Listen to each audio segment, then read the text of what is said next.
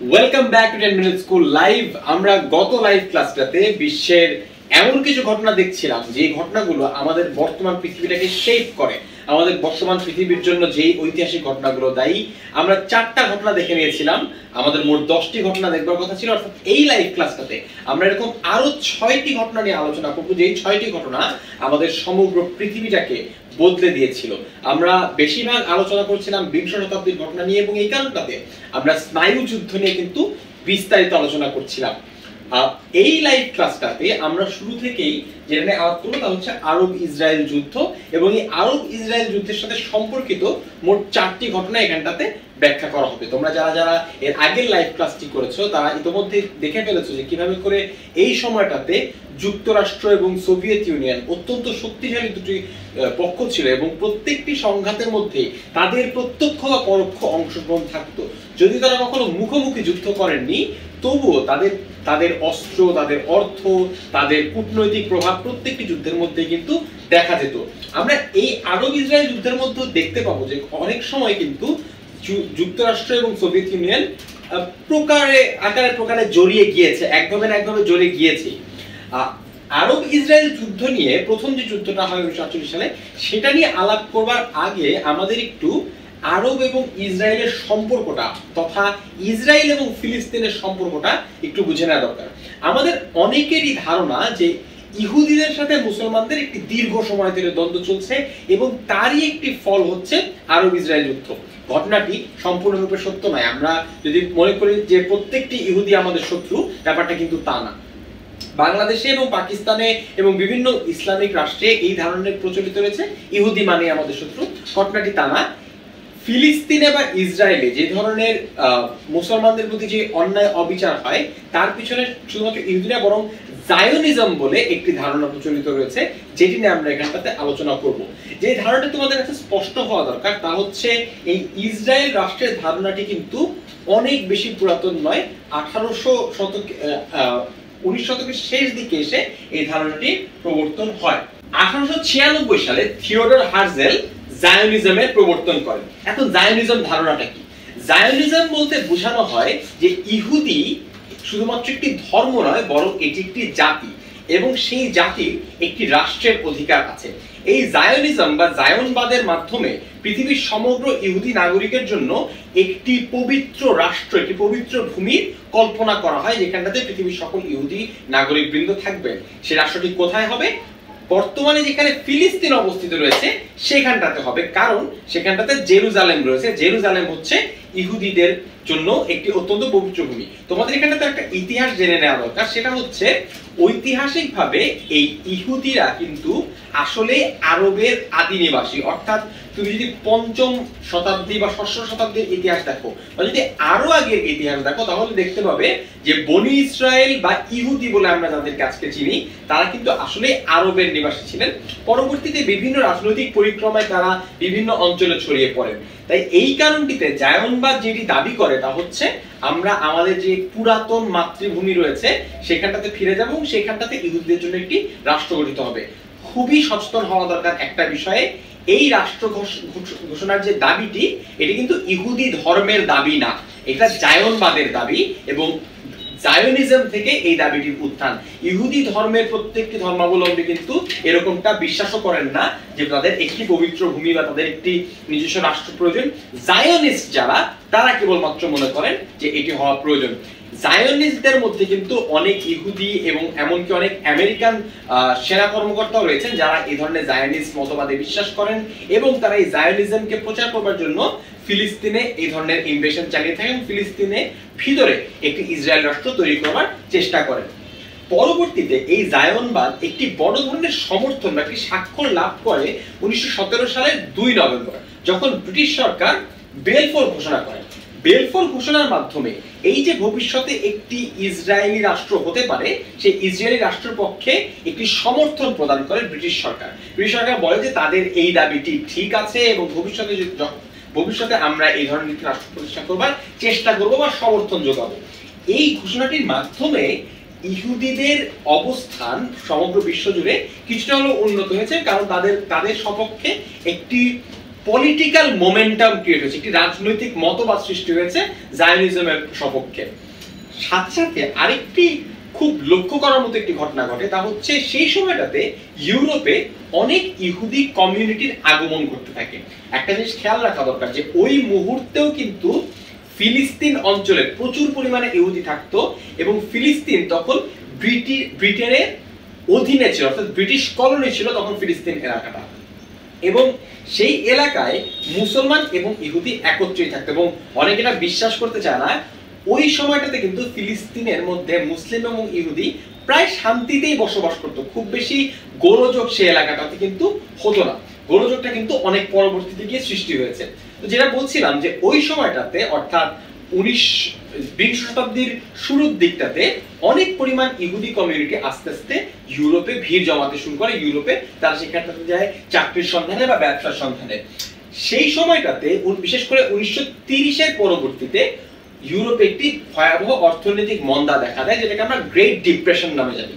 তো গ্রেট ডিপ্রেশনের পরবর্তীতে দেখা যায় যে ওইখানটাতে যখন ইহুদি কমিউনিটি বসবাস করতে শুরু করে, এই জিনিসটা অনেক ইউরোপিয়ানই মেনে নিতে পারে না। তারা মনে করে যে এই জিনিসটা হতেই পারে না এবং অনেকেই এই ডিপ্রেশনের জন্য গ্রেট ডিপ্রেশন বা অর্থনৈতিক মন্দার জন্য এই ইহুদিদেরকে দায়ী করতে শুরু করেন। তারা বলেন, এই যে এই সকল লোকজন উড়ে এসে জুড়ে বসেছে এদের কারণটাতেই কিন্তু আমাদের এই অর্থনৈতিক মন্দা সৃষ্টি হচ্ছে। এবং যারা রাইট উইং পার্টি ছিল অ্যাডলফ হিটলারের মতো যারা খুবই খারাপ মানুষ ছিল, তারা এই পলিটিক্যাল ন্যারেটিভটাকে এই মতবাদটাকে পুঁজি করে বসে। তারা মানুষের মধ্যে এই রাগ, এই ক্ষোভটাকে আরও বাড়িয়ে তুলতে শুরু করে। তারা বিভিন্ন ধরনের রাজনৈতিক প্রপাগান্ডা শুরু করে যে এদের কারণে এই ধরনের সমস্যাগুলো হচ্ছে। এবং মূলত এই চিন্তা ভাবনাটাকে শুরু করেই কিন্তু দ্বিতীয় বিশ্বযুদ্ধের আগে থেকে হলোকাস্ট শুরু হয়। হলোকাস্ট মানে কি? হলোকাস্ট হচ্ছে অ্যাডলফ হিটলার এবং তার নাজি বাহিনী কর্তৃক যে ইহুদি নিধন প্রক্রিয়া বা তাদেরকে অত্যাচার করবার যে জঘন্যতম প্রক্রিয়াটি শুরু হয়েছিল সেই ঘটনাটিকে বলা হয় হলোকাস্ট। এই হলোকাস্টের মাধ্যমে ছয় মিলিয়ন ইহুদি নিহত হয় এবং আরও অসংখ্য ইহুদি জনগণ তখন পঙ্গু হয়ে যায়, দীর্ঘমেয়াদী রোগে আক্রান্ত হয় এবং তারা গৃহহীন হয়ে পড়ে। খুব ভয়াবহ একটি ঘটনা ঘটে সেই সময়টাতে। অর্থাৎ ইউরোপ জুড়ে ইহুদিদের অবস্থা খুবই খারাপ হয়ে যায়। সেই সময় সমগ্র বিশ্ব জুড়ে ইহুদিদের কি হবে, এই সংক্রান্ত একটি কিছুটা মানবতাবাদী এবং কিছুটা রাজনৈতিক একটা আলোচনা সৃষ্টি হয়। পঁয়তাল্লিশ সালে যখন বিশ্বযুদ্ধ শেষ হয়, তখন সেই আলোচনাটা আরও বেশি বেগবান হয়। সেই আলোচনার রেঞ্জ ধরেই উনিশশো সালের চোদ্দই May, David Ben Gurion British শাসিত ফিলিস্তিন অঞ্চলের ভিতর ইসরায়েল রাষ্ট্রের ঘোষণা দেন। অর্থাৎ সেই সময়টাতে ফিলিস্তিন একটি রাষ্ট্র থাকা অবস্থায়, যখন সেই রাষ্ট্রের ভিতরে মুসলমান এবং ইহুদি উভয় জনগণই বসবাস করছেন তখন ওই অবস্থায় ওই রাষ্ট্রের ভিতরে একটি অংশকে স্বাধীন রাষ্ট্র হিসেবে, ইসরায়েল হিসেবে ঘোষণা দিয়ে দেওয়া হয়। এবং সেটা কিন্তু ওই দেশের ফিলিস্তিনের যে সকল মানুষ ছিল, তাদের সার্বভৌমত্ব এবং তাদের স্বাধীনতার বিরুদ্ধে একটি চরম আঘাত। তবুও এই ঘোষণাটি হুট করে দিয়ে দেওয়া হয়। আবারও মনে করিয়ে দিই, তার আগ পর্যন্ত কিন্তু ওই অঞ্চলে তীব্র কোনো গোলযোগ তখনও পর্যন্ত দেখা যায় নাই। এই এই ঘটনাটার প্রতিবাদে আরব লীগ তাৎক্ষণিকভাবে এই এই ঘোষণাটা প্রত্যাখ্যান করে, এই জিনিসটাকে প্রত্যাখ্যান করে এবং একই সঙ্গে যুক্তরাষ্ট্র এবং যুক্তরাজ্য এই ঘোষণাটাকে সাদরে মেনে নেয় এবং সাথে সাথে ওই রাষ্ট্রটিকে, অর্থাৎ ইসরায়েল নামক রাষ্ট্রটিকে স্বীকৃতি প্রদান করে। তুমি লক্ষ্য করবে যে ইসরায়েলের যে মানচিত্রটি রয়েছে, তা কিন্তু ইজিপ্ট এবং জর্ডানের ঠিক মাঝখানটাতে। অর্থাৎ আরব লীগ তথা অন্যান্য মুসলিম যে সকল রাষ্ট্রগুলি ছিল, সেই রাষ্ট্রগুলোর একদম মাঝখানটাতে বা বসবাস করছিল ইসরায়েল। অর্থাৎ ইসরায়েলকে আগের থেকে সতর্ক হওয়ার দরকার ছিল যে তারা কীভাবে করে এই এইখানটা থেকে রাষ্ট্র তৈরি করে সেখানটাতে টিকে থাকতে পারবে। এই আরব ইস, এই এই আক্রমণের মাধ্যমে, অর্থাৎ আরব লীগ যখন ইসরায়েলকে আক্রমণ করে, সেই আক্রমণের মাধ্যমেই আরব ইসরায়েল যুদ্ধ শুরু হয়। তার একটু হচ্ছে উনিশশো আটচল্লিশ সালের পনেরোই মে, অর্থাৎ স্বাধীনতা ঘোষণা করবার ঠিক পর দিনই আরব লীগ তাকে আক্রমণ করে বসে। মিশর আক্রমণ করে বসে, জর্ডান তাদেরকে আক্রমণ করে বসে। দশই মার্চ উনিশশো উনপঞ্চাশ পর্যন্ত এই যুদ্ধটি চলে। এই যুদ্ধটি অনেকটা এতগুলো রাষ্ট্র থাকা সত্ত্বেও, অর্থাৎ আরব লীগের এতগুলো রাষ্ট্র একত্রিত হয়ে যুদ্ধটি করা সত্ত্বেও, এটি একটি এক পেশে যুদ্ধ ছিল। তার কারণ ওই সময়ে ইসরায়েলকে সমর্থন করছিল যুক্তরাষ্ট্র এবং যুক্তরাজ্য। তাদের এই সমর্থনের কারণে যতই সেনাবাহিনী থাকুক, যতই অস্ত্রশস্ত্র থাকুক, তারা কখনোই কিন্তু পেরে উঠছিল না যুক্তরাষ্ট্রের সঙ্গে। তাই এই অঞ্চলটিতে খুব সহজেই বিজয়ী হয় ইসরায়েল এবং শেষ পর্যন্ত সাত লক্ষ ফিলিস্তিনি শরণার্থীতে পরিণত হয়। তারা কখনো মিশরে, কখনো কখনো সিরিয়াতে, কখনো জর্ডানে তারা সেখানটাতে অবস্থান গ্রহণ করতে শুরু করে। আমি তোমাদেরকে ছোট্ট একটা ছবি দেখাতে চাই। এই যে ছবিটা, আমি একদম প্রথম স্লাইডে যে ছবিটা দেখাচ্ছিলাম, এই যে সেটি টাইম টাইমের উপর ভিত্তি করে ছবি। তোমরা যে সবুজ অংশটুকু দেখছ সেই সবুজ অংশটুকু হচ্ছে ফিলিস্তিন, স্বীকৃত ফিলিস্তিন, এবং সাদা অংশটুকু হচ্ছে ইসরায়েল। তুমি যদি এই অংশটুকু দেখো, এটা হচ্ছে উনিশশো ছেচল্লিশ সালে যখন কিছুদিনের মধ্যেই যেখান থেকে কলোনি উঠে যাচ্ছে, ব্রিটেনের কলোনি যখন উঠে যাচ্ছে ব্রিটেনের কলোনি উঠে যাওয়া অবস্থায় এইটা হচ্ছে ফিলিস্তিনের চিত্র, অর্থাৎ পুরোটা জুড়ে কিন্তু ফিলিস্তিন আছে। এরপরে যখন যখন পার্টিশনটা হয়ে গেল, অর্থাৎ যখন ইসরায়েল নিজের নতুন রাষ্ট্র ঘোষণা করল, এইটা হচ্ছে ইসরায়েলের চিত্র, অর্থাৎ অর্ধেকের কিছুটা কম অঞ্চল মিলে ইসরায়েল ঘোষণা করা হলো। পরবর্তীতে সাতষট্টি সালে ইসরায়েল আরেকটু আরও অনেক বেশি জায়গা গ্রহণ করে ফেলল এবং শেষ পর্যন্ত দু সাল এবং তার পরবর্তীতে তুমি সবুজ প্রায় দেখতেই পাচ্ছ না। অর্থাৎ লক্ষ্য করো যে সাদা অংশ ক্রমাগত বাড়ছে। অর্থাৎ প্রত্যেকটি যুদ্ধের সঙ্গে একটু একটু করে সাদা অংশ বেড়ে যাচ্ছে। অর্থাৎ ইসরায়েল প্রতিটি যুদ্ধের সময় তার নিজের যে টেরিটরি আছে সেটাকে এক্সপ্যান্ড করছে। আমরা একটা যুদ্ধ দেখলাম, প্রথম আরব ইসরায়েল যুদ্ধ। যেটাতে কিনা ইসরায়েল এই অংশটুকু দখল করে নিল। আমরা পরবর্তী যুদ্ধগুলো কিছুক্ষণের মধ্যে দেখব এবং দেখব যে কীভাবে করে ইসরায়েল আরও বেশি স্থান দখল করে নিতে পারে। আমরা এখন চলে যাচ্ছি আরব ইসরায়েলের দ্বিতীয় যুদ্ধ যেটাকে কিনা সুয়েজ খাল সংকট হিসেবেও বলা হয়ে থাকে।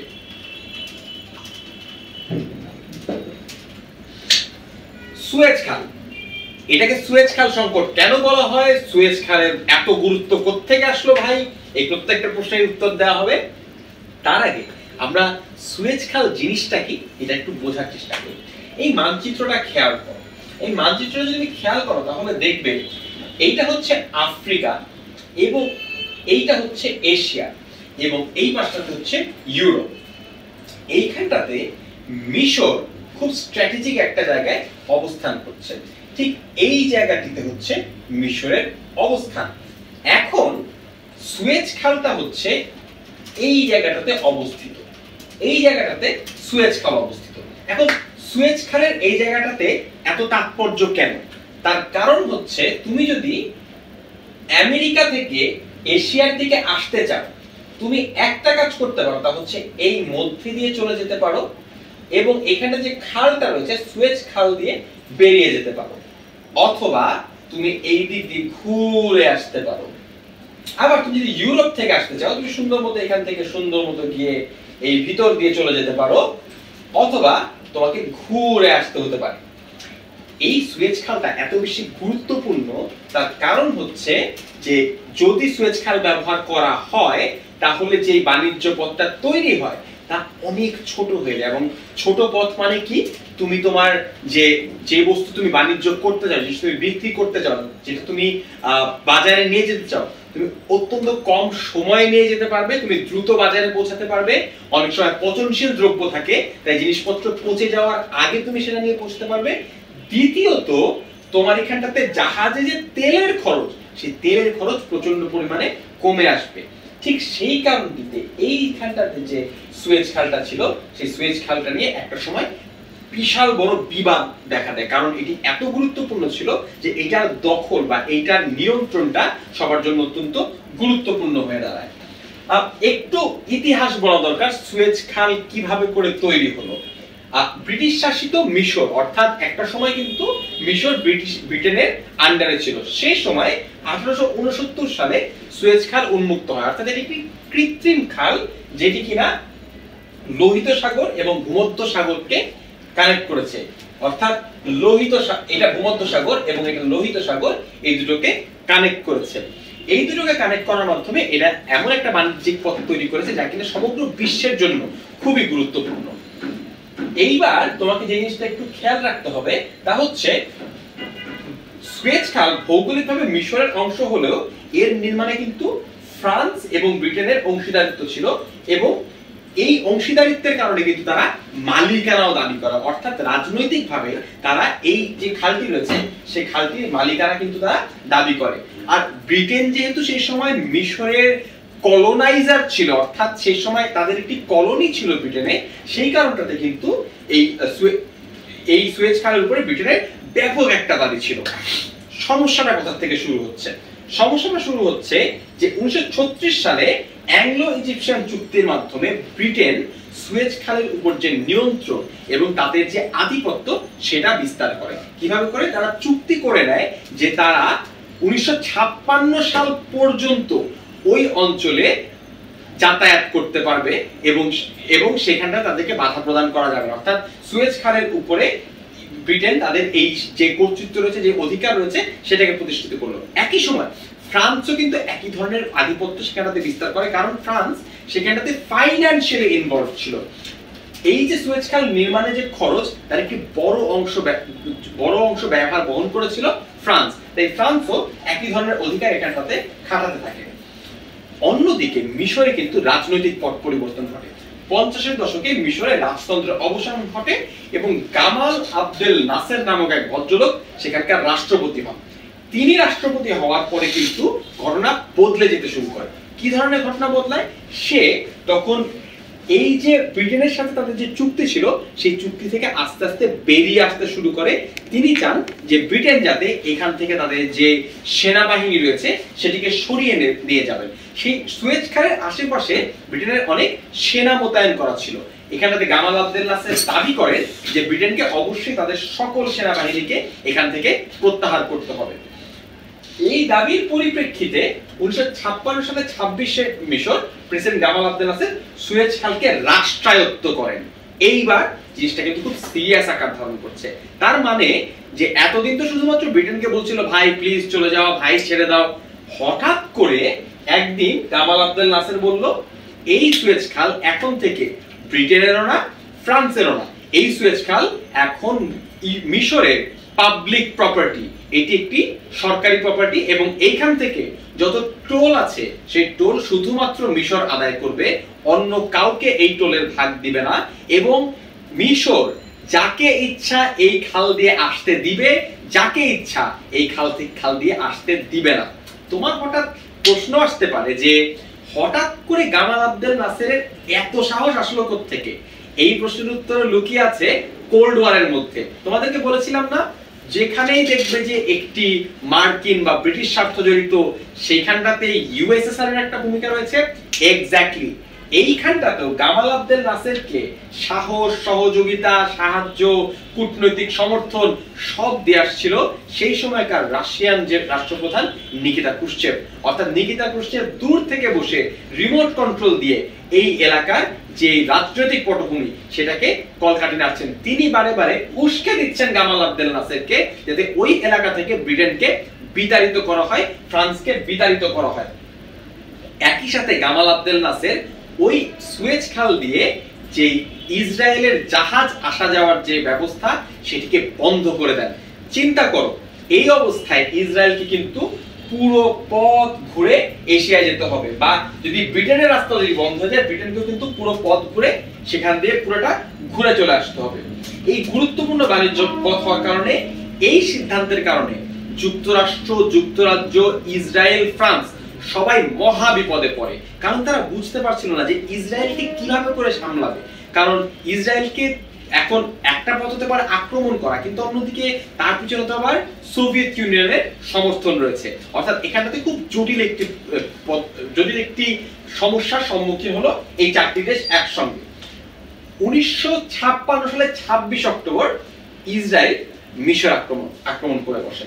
হঠাৎ হঠাৎ করে উনিশশো ছাপ্পান্ন সালে ছাব্বিশ অক্টোবর ইসরায়েল মিশর আক্রমণ করে এবং তার ঠিক দুই দিন পরে ফ্রান্স এবং ব্রিটেনও মিশর আক্রমণ করে এবং এই তিনটি দেশ একত্রিত হয়ে সুয়েজ খাল সংলগ্ন যে এলাকাটা ছিল, সেই এলাকাটা দখল করে ফেলে। যেই সুয়েজ খাল নিয়ে এত ঝগড়া, এত বিবাদ, সেই এলাকাটা দখল করে ফেলল ব্রিটেন, ফ্রান্স এবং ইসরায়েল। এই জায়গাটাতে কিন্তু মিশর আবার একটু ব্যাকফুটে চলে গেল। অন্যদিকে, এইবার ঠিক যে জিনিসটা তুমি চিন্তা করবে যে এই সময় সোভিয়েত ইউনিয়ন কি করবে? কারণ সোভিয়েত ইউনিয়ন কিন্তু মিশরকে ডিফেন্ড করছিল। সেই সময় নিকিতা ক্রুশ্চেভ পশ্চিম ইউরোপে নিউক্লিয়ার হামলা চালানোর হুমকি দেন। তিনি বলেন, পাঁচ নভেম্বর, ছাপ্পান্ন সালে পাঁচ নভেম্বর, তিনি বলেন যে যদি এখান থেকে সেনাবাহিনী প্রত্যাহার না করে ব্রিটেন, ফ্রান্স এবং ইসরায়েল, তাহলে পশ্চিম ইউরোপে নিকিতা ক্রুশ্চেভ নিউক্লিয়ার হামলা চালাবেন। অর্থাৎ আরও একবার আমরা নিউক্লিয়ার হামলার খুব কাছাকাছি পৌঁছে গেলাম। আমরা এমন একটা সিচুয়েশনে পৌঁছে গেলাম যেখান থেকে নিউক্লিয়ার হামলা হতেই পারত, তৃতীয় বিশ্বযুদ্ধ হতেই পারত। এই অবস্থা থেকে ব্রিটেন ইসরায়েল ফ্রান্স এটার পরেও তারা সেখান থেকে সেনা প্রত্যাহার করলেন না। তাদের কাছে মনে হচ্ছিল এটা করার দরকার নাই, এটা এটা ফালতু একটা ভয় দেখাচ্ছে, এখান থেকে সরে যাওয়ার দরকার নেই। কিন্তু যুক্তরাষ্ট্র কিন্তু এই সমস্যাটা যে ডেপথটা সেটা খুব ভালো মতো সে বুঝতে পারছিল। এই সমস্যাটার ডেপথটা সে বুঝতে পারছিল দেখেই সেই ডোয়াইট আইজেন হাওয়ার উভয় পক্ষের সঙ্গে কথা বলে। ডোয়াইট আইজেন হাওয়ার এক নিকিতা কুশ্চেভকে সতর্ক করে দেন যে এইখানটাতে ডাইরেক্টলি ইনভলভ হওয়ার চেষ্টা করবেন না। এই এই যে বিবাদ রয়েছে, এই যে সংঘাত রয়েছে, এই সংঘাতের সঙ্গে জড়িত হওয়ার চেষ্টা করবেন না। একই সঙ্গে তিনি আলোচনায় বসেন ব্রিটেনের ব্রিটেন, ফ্রান্স এবং ইসরায়েলের সঙ্গে। অ্যাকচুয়ালি এই সময়টাতে আইজেন হাওয়ার এই তিনটি দেশের সঙ্গে একটু বিরক্ত হয়েছিলেন। তিনি বিরক্ত ছিলেন কারণ এই যে হঠাৎ করে আক্রমণ করবেন, এটা কিন্তু যুক্তরাষ্ট্রের সঙ্গে আলাপ করে তারা করেন নাই, তারা হঠাৎ করে এই আক্রমণটা করে বসেন। এবং এতে করে যুক্তরাষ্ট্র একটু ফলস একটা পজিশনে পড়ে যায়, কারণ হঠাৎ করে প্রচণ্ড পরিমাণে রাজনৈতিক টেনশন দেখা দিতে শুরু করে ওই এলাকাটাতে। এই কারণটাতে যুক্তরাষ্ট্র এই তিন রাষ্ট্রকে চাপ দিতে শুরু করে। এমনকি যুক্তরাষ্ট্র, ফ্রান্স, ব্রিটেন এবং ইসরায়েলকে একসঙ্গে ইকোনমিক স্যাংশন দেওয়ারও হুমকি দেয়। সে বলে তুমি যদি সেখান থেকে সেনা প্রত্যাহার না করো, আমি তোমাকে ইকোনমিক স্যাংশন দেব, অর্থাৎ অর্থনৈতিক অবরোধ দেবো। অর্থাৎ তোমার সাথে যে সকল ট্রেড রয়েছে আমার এবং আমার বন্ধু রাষ্ট্রের, সবার ট্রেড আমরা বন্ধ করে দিব। এই ঘটনাটি কিন্তু ইসরায়েল, ফ্রান্স এবং ব্রিটেনের জন্য খুব ভয়াবহ হতে পারত। চিন্তা করো, সেখানটাতে শান্তি রক্ষা করবার জন্য কিংবা সেখানটাতে রাজনৈতিক পরিস্থিতিকে সামলা, সামাল দেওয়ার জন্য যুক্তরাষ্ট্রকে এত কঠিন হুমকিও দিতে হয়েছে। আর যে ইসরায়েল এতদিন ধরে যুদ্ধে বিজয়ী হচ্ছিল, ওকে যদি হঠাৎ করে যুক্তরাষ্ট্র সমর্থন দেওয়া বন্ধ করে দেয়, তাহলে কিন্তু ইসরায়েল আসলেই বিশ্ব প্রেক্ষাপটে বড় ধরনের একটা বিপদে পড়বে। তাই ইসরায়েলের হাতে এই সিদ্ধান্তটা মেনে নেওয়া ছাড়া আর কোনো উপায় ছিল না। ঠিক এই কারণে উনিশশো ছাপ্পান্ন সালের তেইশ ডিসেম্বর ব্রিটেন এবং ফ্রান্স এবং পরবর্তীতে মার্চ মাসে, অর্থাৎ সাতান্ন সালের মার্চ মাসে ইসরায়েল সেনা প্রত্যাহার করে এবং অবশেষে এই যে সুয়েজ খালের যে টেনশন সুয়েজ খালকে নিয়ে যে বিশাল বড় ঝামেলা এতক্ষণ ধরে তোমাদেরকে বললাম, সেই ঝামেলাটা অবশেষে অবসান ঘটে। জাতিসংঘ শান্তি রক্ষাকারী বাহিনী সেখানটাতে মধ্যস্থতা করেন এবং দীর্ঘ সময় পর সেখানটাতে যে সুয়েজ খাল ছিল, সেটিকে আবারও জাহাজ চলাচলের জন্য উন্মুক্ত করে দেওয়া হয়। এই সুয়েজ খাল সংকট থেকে আমরা একটা চমৎকার ধারণা পেতে পারি, সেটা হচ্ছে যে কোন একটা রিসোর্স কোন একটা পথ শুধুমাত্র মানুষের উপকার আসে না, কখনো কখনো সেটা একটা দ্বন্দ্বের কেন্দ্রে পরিণত হয়। সেটাকে কেন্দ্র করে অনেক বড় ঝগড়া, অনেক বড় অশান্তি কিন্তু, অনেক বড় যুদ্ধ কিন্তু সৃষ্টি হতে পারে। আরব ইসরায়েল যুদ্ধের আরও গুরুত্বপূর্ণ দুটো ঘটনা তোমাদের সঙ্গে শেয়ার করতে চাই। এরপরে যে ঘটনাটা তোমাদের সঙ্গে শেয়ার করব, তা হচ্ছে সিক্স ডে ওয়ার উনিশশো সালের ছয় জুন থেকে দশই জুন, মাত্র ছয় দিনের মধ্যে সমগ্র আরব নড়ে উঠেছিল সমগ্র বিশ্ব কেঁপে উঠেছিল ছয় দিনের একটি যুদ্ধে। এটি আরব ইসরায়েল যুদ্ধের সবচেয়ে ভয়াবহ একটি অধ্যায়।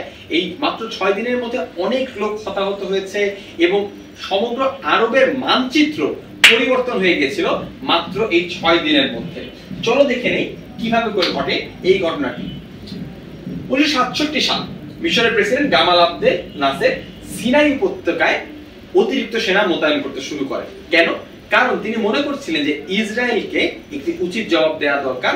সেই সুয়েজ খালের সময় যে তারা আক্রমণ করেছিল, সে আক্রমণের একটি জবাব দেওয়া দরকার। এবং তিনি এর আগে যখন তোমার সুয়েজ খাল দিয়ে ইসরায়েলের জাহাজ যাতায়াত বন্ধ করে দিয়েছিলেন, এইবার তিনি যেই এইবার তিনি আরও যে তিরান প্রণালী রয়েছে, সেই তিরান প্রণালী দিয়ে ইসরায়েলের জাহাজ চলাচল বন্ধ করে দেন। অর্থাৎ ইসরায়েলকে যতভাবে কোণঠাসা করা সম্ভব, সবভাবে গামাল আব্দেল নাসের করতে চেয়েছিলেন। তিনি একই সঙ্গে সুয়েজ খালে যে শান্তিরক্ষা বাহিনী ছিল জাতিসংঘ কর্তৃক মোতায়েনকৃত, তাদেরকেও চলে যাওয়ার জন্য অনুরোধ করেন। অর্থাৎ বুঝতে পারছ যে গামাল আব্দেল নাসের পুরো এলাকার কর্তৃত্ব নিজের হাতে তুলে নেবার চেষ্টা করেন এবং ইসরায়েলকে যতভাবে কোন ঠাসা করা সম্ভব সেটি করতে চেষ্টা করেন। গামাল আবদেলাস তোমাদের একটা জিনিস ইন্টারেস্টিং বিষয় তোমাদেরকে জানানো দরকার, তা হচ্ছে ইস মিশর সেই সময় কিন্তু আরব লীগের নেতৃত্ব প্রদান করছিল। কারণ সেই সময় আরব লীগের সদর দপ্তর ছিল হচ্ছে মিশরের কায়রোতে। অর্থাৎ ইসরায়েলের বিরুদ্ধে যে আরবের সংঘাত বা আরবের যে যুদ্ধ, সেই যুদ্ধের নেতৃত্বে ছিল মিশর। তাই এই কামাল আবদেল নাসের সে সময় ইসরায়েলকে যতভাবে কোণঠাসা করা সম্ভব, সেটি কিন্তু করবার চেষ্টা করছিলেন। এই অবস্থায় নাসেরের নেতৃত্বে মিশর, সিরিয়া, জর্ডান ও ইরাক একত্রিত হয় এবং তাদের প্রত্যেকেরই যে ইসরায়েলের সঙ্গে সীমান্ত রয়েছে সেই সীমান্তে অতিরিক্ত সেনা মোতায়েন করতে থাকে। একটা জিনিস খেয়াল করবে যে, যখন তোমার সীমান্তে সেনা মোতায়েন করা হয়, এটা সবসময় মিন করে যে, এখানটাতে একটা যুদ্ধের প্রস্তুতি চলছে। এবং অনেক রাষ্ট্র এটিকে একটা অফেন্স হিসেবে বা একটি আক্রমণের সম্ভাবনা হিসেবে লোক খেয়াল করে থাকে। ইসরায়েলও ঠিক এই একই কাজটি করেছিল। অর্থাৎ ইসরায়েল এই যে সীমান্তে অতিরিক্ত সেনা মোতায়েন করবার ঘটনাটি, এটিকে একটি অফেন্স হিসেবে গ্রহণ করেছিল। অর্থাৎ ইসরায়েল মনে করেছিল যে, যারা যেহেতু একটি সেনাবাহিনী মোতায়েন করেছে, তারা যে কোনো মুহূর্তে কিন্তু আক্রমণও করতে পারে। এই আক্রমণ যাতে তারা প্রতিহত করতে পারে, আক্রমণ প্রতিহত করার প্রয়োজনই যাতে না হয়, তাই ইসরায়েল নিজে থেকে পাঁচ জুন উনিশশো সালে নিজে থেকে প্রথমে আক্রমণ করে বসে, পরবর্তীতে ছয় তারিখে তারা একদম সরাসরি ভাবে যুদ্ধে চলে যায়। এই পাঁচ জুন যখন ইসরায়েল প্রথম বিমান আক্রমণ করে এবং মিশরের বিমানের বিমান বাহিনী ব্যাপক ব্যাপক ক্ষতি সাধন করে, মিশর যে কোনো হামলা চালানোর আগেই মিশরের বিমান যখন মাটিতে রয়েছে তখন তাদের বিমানগুলোকে ধ্বংস করে দেওয়া হয়। অর্থাৎ তাদের যত বিমান বাহিনীকে কেন্দ্র করে যত এয়ার স্ট্রাইকের প্ল্যান ছিল, সেই প্ল্যানগুলো শুরু হবার আগেই শেষ হয়ে যায়। অর্থাৎ বুঝতে পারছ যে ইসরায়েল কত আগের থেকে যুদ্ধটিতে এগিয়েছিল শুরুতেই মিশর কিংবা আরব লীগের যে অন্যান্য দেশগুলি ছিল, তাদের আর কোনো সুযোগই ছিল না এই যুদ্ধটিতে বিজয়ী হওয়ার। জর্ডান মিশরের সেনাবাহিনী ইসরায়েলকে আক্রমণ করে, কিন্তু আক্রমণ করে তারা বিশেষ কোনো সুবিধা করতে পারে না। তার কারণ হচ্ছে ইসরায়েলের সেনাবাহিনীও, বিমান বাহিনী তো অবশ্যই অত্যন্ত চৌকস, একই সঙ্গে সেনাবাহিনীও অত্যন্ত চৌকস ভূমিকা পালন করে এবং তাদের বিচক্ষণতার সামনে এই এই আরব রাষ্ট্রগুলো আবারও পরাজিত হয়।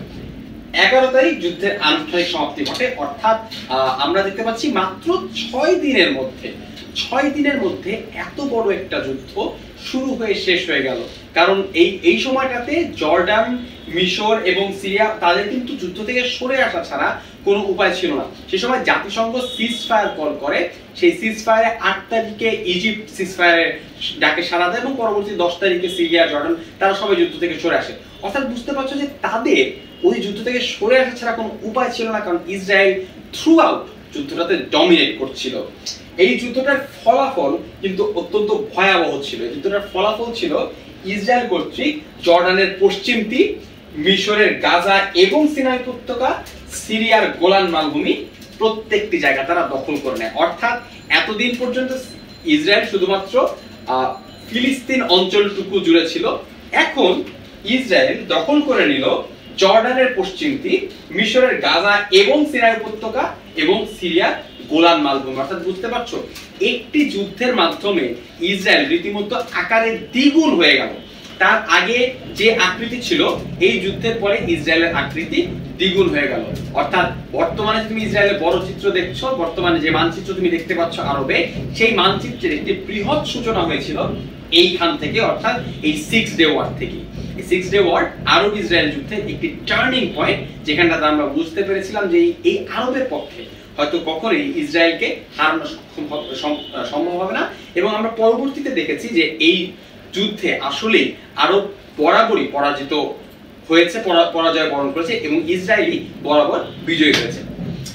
আরব ইসরায়েল যুদ্ধের আরেকটি ঘটনা তোমাদের সঙ্গে শেয়ার করব, যে ঘটনাটি কিনা এই আরব ইসরায়েল যুদ্ধে মোড়টি আরও একবার ঘুরিয়ে দিয়েছিল। এই ঘটনাটির নাম ক্যাম্প ডেভিড চুক্তি, যেটি হয়েছিল সতেরোই সেপ্টেম্বর উনিশশো সালে। তোমরা এতক্ষণ দেখে এসেছ যে মিশরের সঙ্গে ইসরায়েলের একটা চরম খারাপ সম্পর্ক। আরব লীগকে নেতৃত্ব দিচ্ছে মিশর, ইসরায়েলের বিরুদ্ধে যে যুদ্ধ রয়েছে, সেই যুদ্ধকে নেতৃত্ব দিচ্ছে মিশর, গামাল আব্দেল নাসের, সেও কিন্তু মিশরের বিরুদ্ধে উঠে পড়ে লেগেছে। কিন্তু ক্ষমতা কিন্তু পরিবর্তন হয়। গামাল আব্দেল নাসেরের পরবর্তীতে আনোয়ার সাদাত মিশরের প্রেসিডেন্ট হয় উনিশশো সালে। এইবার উনিও কিন্তু যে সরাসরি ভাবে ইসরায়েল পন্থী তা না, উনিও কিন্তু ইসরায়েলের বিপক্ষে। উনি উনিশশো সালে ইসরায়েলকে আক্রমণ করেন একটি ধর্মীয় উৎসবের দিন। অর্থাৎ একটি ধর্মীয় উৎসব চলাকালীন সময়ে তিনি ইসরায়েলকে আক্রমণ করেন। এই আক্রমণের মধ্যে দিয়ে যদিও মিশর চূড়ান্ত বিজয় লাভ করে নাই, যদিও ইসরায়েলই সেখানটাতে বিজয়ী হয়েছিল, তবু ইসরায়েল সেই সময়টাতে মিশরের যে ক্ষমতা এবং মিশরের যে চিন্তা ভাবনা মিশরের মধ্যে যে ইসরায়েল বিরোধী একটি চেতনা রয়েছে, সেটি খুব স্পষ্টভাবে বুঝতে পারে এবং ইসরায়েল তখন বুঝতে পারে যে দীর্ঘ সময় ধরে একটি সংঘাত চলছে মিশর এবং ইসরায়েলের মধ্যে। সেই আটচল্লিশ সাল থেকে শুরু করে six day war Suez crisis প্রত্যেকটা জায়গায় কিন্তু মিশর বনাম ইসরায়েল। একটি সমস্যা চলছে? ইসরায়েল তখন বুঝতে পারে যে এই সমস্যাটা যদি আমরা সমাধান করতে না পারি, তাহলে মধ্যপ্রাচ্যে বা আরবে ইসরায়েল কখনো ডমিনেট করতে পারবে না, তাদের যে প্রভাব রয়েছে সেই প্রভাবটাকে বিস্তার করতে পারবে না। এই চিন্তাটাকে মাথায় রেখে ইসরায়েল তখন এই ইজিপ্টের সঙ্গে একটা শান্তি প্রক্রিয়া শুরু করে। উনিশশো চুয়াত্তর সালে দুই রাষ্ট্রের মধ্যে ডিস এঙ্গেজমেন্ট এগ্রিমেন্ট স্বাক্ষরিত হয়। ডিসএঙ্গেজমেন্ট এগ্রিমেন্ট বলতে বোঝায়, আমি তোমাকে আক্রমণ করব না, তুমিও আমাকে আক্রমণ করবে না। এই যে পরস্পরের মধ্যে একটা বোঝাপড়া, এইটাই হচ্ছে আমাদের ডিসএঙ্গেজমেন্ট আক্রমণ। এই এই সরি ডিসএঙ্গেজমেন্ট ট্রিটি বা এগ্রিমেন্ট এই ডিসএঙ্গেজমেন্ট এগ্রিমেন্টের পরে মিশর সিনাই উপত্যকা ফেরত পায়। এই এগ্রিমেন্টের একটা ক্লজ ছিল যে আমাদেরকে সেই সিনাই উপত্যকা ফেরত দিতে হবে। কিছুক্ষণ আগে যে ঘটনাটি নিয়ে আলাপ করছিলাম, যে সিনাই উপত্যকা দখল করে ফেলে ইসরায়েল এই এগ্রিমেন্টের মাধ্যমে সিনাই উপত্যকা তাদেরকে ফেরত দিয়ে দেওয়া হয়। অর্থাৎ এটা অনেকটা sign of trust sign of faith যে না ভাই আমাদের বন্ধুত্ব হয়ে গেছে, তোমার কাছ থেকে দশ টাকা চুরি করছিলাম, দশ টাকা তোমাকে ফেরত দিয়ে দিলাম। অনেকটা ওইটার মতো ঘটনাটা। অর্থাৎ তুমি বুঝতে পারছ যে মিশর এবং ইসরায়েল আস্তে আস্তে একটা ভালো সম্পর্কের দিকে যাচ্ছে। উনিশশো পঁচাত্তর সালে আনোয়ার সাদাত ইসরায়েলের মিশ্র দেশ যুক্তরাষ্ট্র সফর করে। মিশরের প্রেসিডেন্ট যুক্তরাষ্ট্র সফর করা একটা বিশেষ অর্থ আছে। তার মানে হচ্ছে যে সে ইসরায়েলের বন্ধু বা তাদের যে স্পন্সর নেশন, আমেরিকা, তাদের সঙ্গে একটা কূটনৈতিক সম্পর্ক স্থাপন করছে, তাদের সঙ্গে একটা বন্ধুত্বপূর্ণ সম্পর্কে যাওয়ার চেষ্টা করছে। অর্থাৎ এই পঁচাত্তর সালে তার এই আমেরিকা ভ্রমণ, আনোয়ার সালাতের যুক্তরাষ্ট্র ভ্রমণটা কিন্তু এইটা প্রমাণ করে দেয় যে মিশর থেকেও চেষ্টা করা হচ্ছিল যে এই সমস্যাটির অবসান যাতে ঘটে যায়। এই এই বন্ধুত্বের বা এই যে সংকট চলছে সংকটের চূড়ান্ত অবসান ঘটতে শুরু করে উনিশশো আটাত্তর সালে। উনিশশো আটাত্তর সালে সেপ্টেম্বর মাসে যুক্তরাষ্ট্রের প্রেসিডেন্ট জিমি কার্টার, মিশরের প্রেসিডেন্ট আনোয়ার সাদাত এবং ইসরায়েলি প্রধানমন্ত্রী মোনাসেম বেগিনকে মেরিয়ান প্রদেশের ক্যাম্প ডেভিডে আমন্ত্রণ জানান। এই ক্যাম্প ডেভিডটা হচ্ছে প্রেসিডেন্টদের অনেকটা রিসোর্টের মতো বলতে পারো। তাদের তাদের বিলাস বিলাস বাড়ি বলতে পারো, সেই বিলাস বাড়ির মতো এরকম একটা বাংলো থাকে। সেইখানটাতে তারা সেখানটাতে জিমি জিমি তৎকালীন president Jimmy Carter Anwar Sadat এবং ইসরায়েল প্রধানমন্ত্রী মোনাসেম বেগিং তাদের দুজনকে দাওয়াত করেন, তাদের দুজনকে ডাকেন। এবং ডাকার পরে তাদের সঙ্গে তিনি আলাদা আলাদা করে কথা বলেন। তিনি তাদের কাছ থেকে জানতে চান যে, ভাই, তুমি কি চাও? ভাই, তুমি কি চাও? এই দুটা আলাদা আলাদা করে তাদের কাছ থেকে জানতে চান। জানতে চাওয়ার ফলে যেটা হয় যে, জিমি কার্টার আসলে এই দুটো দেশের মধ্যে মধ্যস্থতা করতে চাচ্ছিলেন। এইটা কেন? কারণ মধ্যপ্রাচ্যে যুক্তরাষ্ট্রের যে স্বার্থ, সেই স্বার্থটা সবচেয়ে ভালোভাবে রক্ষিত হতে পারে যদি মিশর এবং ইসরায়েলের মধ্যে বন্ধুত্ব হয়ে যায়। কারণ এদের সংঘাতের কারণেই কিন্তু মধ্যপ্রাচ্যে বারে বারে যুদ্ধ হচ্ছে এবং ইসরায়েল যে ধরনের ডমিনেশন যুক্তরাষ্ট্র চাই করুক, সেই জিনিসটা করতে পারছে না।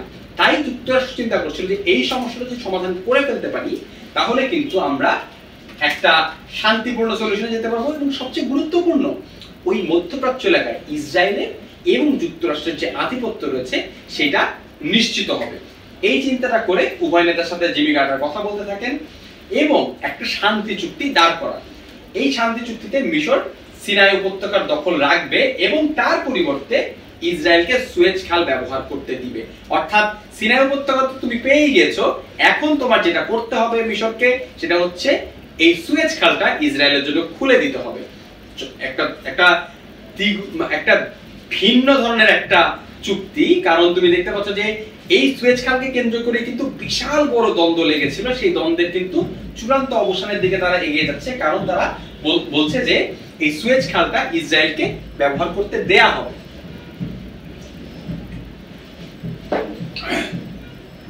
পাশাপাশি মিশর ইসরায়েলকে রাষ্ট্র হিসেবে স্বীকৃতি দিবে। মজার ব্যাপার। তোমার কাছে যদি একটা পাসপোর্ট থাকে, তোমার বাংলাদেশ যদি পাসপোর্ট থাকে, তুমি তো পাসপোর্টের একটা পৃষ্ঠা খুলে দেখো। দেখবে, একদম শেষ পৃষ্ঠায় লেখা অল কান্ট্রিজ এক্সেপ্ট ইসরায়েল অর্থাৎ বাংলাদেশি পাসপোর্ট নিয়ে তুমি পৃথিবীর যে কোনো দেশে যেতে পারবে, কেবলমাত্র ইসরায়েলে যেতে পারবে না। এই নিয়মটা পৃথিবীর অনেক মুসলমান রাষ্ট্রেই প্রচলিত রয়েছে। যারা ওআইসির সদস্য, তাদের সবাইকে এই নিয়মটা মেনে চলতে হয় এবং এই নিয়মটা কিন্তু মিশরেও ছিল। এটা কেন হয়? এটা হয় কারণ ওই দেশের সাথে আমাদের কোনো কূটনৈতিক সম্পর্ক নেই। আমরা সেই দেশকে রাষ্ট্র হিসেবে স্বীকার করি না, স্বীকৃতি দেই না। অর্থাৎ বাংলাদেশ এবং অন্যান্য মুসলমান রাষ্ট্র রয়েছে, তারা কিন্তু ইসরায়েলকে স্বীকৃতি দেয় না। একইভাবে ইজিপ্টও কিন্তু, অর্থাৎ মিশরও কিন্তু ইসরায়েলকে স্বীকৃতি দিত না সেই সময়টাতে। তাই এই চুক্তিটাতে ক্যাম্প ডেভিড চুক্তিটাতে দাবি করা হয় যে ইসরায়েলকে অবশ্যই এই চুক, এই ইসরায়েলকে স্বীকৃতি দিতে হবে, মিশরকে অবশ্যই ইসরায়েলকে মেনে নিতে হবে, স্বীকৃতি দিতে হবে এবং তাদের মধ্যে যে কূটনৈতিক সম্পর্ক রয়েছে, সেই কূটনৈতিক সম্পর্কটাও স্থাপন করতে হবে। শেষ পর্যন্ত সতেরোই সেপ্টেম্বর উনিশশো আটাত্তর সালে ক্যাম্প ডেভিড চুক্তি স্বাক্ষরিত হয়। মোনাজেম বেগিন এবং জিমি কার্টারের মধ্যকার এই চুক্তিটি স্বাক্ষরিত হয় এবং তার মধ্যস্থতা করেন জিমি কার্টার। এইটার অনেক বড় ফলাফল রয়েছে। এই চুক্তিটির অনেক দীর্ঘমেয়াদী ফলাফল রয়েছে। এক নম্বর হচ্ছে আনোয়ার সাদাত এবং মোনাজেম বেগিন নোবেল শান্তি পুরস্কার পেয়েছিলেন। কেন? কারণ দীর্ঘমেয়াদী একটি সংঘাত যেটি কিনা মধ্যপ্রাচ্যকে উত্তপ্ত করে রেখেছিল দীর্ঘ সময় ধরে। সেই সংঘাতের অবসান ঘটানোর জন্য এই মোনাজেম বেগিন এবং আনোয়ার সাদাতের নোবেল পুরস্কার লাভ হয়। পাশাপাশি ইসরায়েল এবং মিশরের মধ্যে কূটনৈতিক সম্পর্কের এবং বাণিজ্যিক সম্পর্কের সূচনা হয়। এই কূটনৈতিক এবং বাণিজ্যিক সম্পর্ক এতদিন ধরে থেমে থাকার পরে অবশেষে ইসরায়েল এবং মিশর পরস্পরের মধ্যে কূটনৈতিক এবং বাণিজ্যিক সম্পর্ক স্থাপন করে এবং পাশাপাশি মিশরকে আরব লীগ থেকে বের করে দেওয়া হয়। কারণ তুমি বুঝতে পারছ, মিশর এতদিন পর্যন্ত ইসরায়েলের বিরুদ্ধে আরবের যে যুদ্ধ রয়েছে, সেই যুদ্ধে নেতৃত্ব দিচ্ছিল। হঠাৎ করে দেখা গেল যে মিশর সেই যুদ্ধ বাদ দিয়ে ইসরায়েলের সঙ্গে বন্ধু হয়ে গেল, তাদের সাথে সকল সমস্যা মিটিয়ে দিল এবং একই সঙ্গে তার জন্য নোবেল পুরস্কারও পেয়ে গেল। এই ঘটনাটা যখন আরব লীগ দেখতে পেল, তারা একই সঙ্গে এই ইজিপ্টকে এখান থেকে বের করে দিল, মিশরকে আরব লীগ থেকে বের করে দিল। অনেকেই মনে করেন যে এই সময়টাতে এই নোবেল পুরস্কারটা অনেকটা তাদেরকে কিনে নেওয়ার মতো ছিল। অর্থাৎ মিশরকে এই যুদ্ধ থেকে বের করে নিয়ে আসার জন্য আনোয়ার সাদাতকে প্রলোভন দেখানো হয়েছে। তাকে শান্তিতে নোবেল পুরস্কার দেওয়ার প্রলোভন দেখানো হয়েছে, তাকে আরও বিভিন্ন ধরনের সাহায্য সমর্থনের প্রলোভন দেখানো হয়েছে এবং তার মাধ্যমে পুরো ঘটনাটি ঘটেছে। এই ঘটনাটি কিন্তু মিশরের মধ্যে কিংবা অন্যান্য আরব রাষ্ট্রগুলির মধ্যে প্রচণ্ড বিরূপ প্রতিক্রিয়া সৃষ্টি করে। তারা প্রচণ্ড পরিমাণে আনোয়ার সাদাতকে সমালোচনা করতে থাকেন এবং আনোয়ার সাদাতের বিরুদ্ধাচরণ করতে থাকেন। এবং অনেক মুসলমান রাষ্ট্রই এই চুক্তিটিকে মেনে নিতে পারেননি। এবং এরই ফলশ্রুতিতে, এই সমালোচনার ফলশ্রুতিতে উনিশশো সালে আনোয়ার সাদাত নিহত হন। মিশরের ভিতরে আনোয়ার কেন্দ্র করে যে অসন্তোষ জমা পাচ্ছিল সেই অসন্তোষকে কেন্দ্র করে কিন্তু আনোয়ার সাদাত নিহত হন।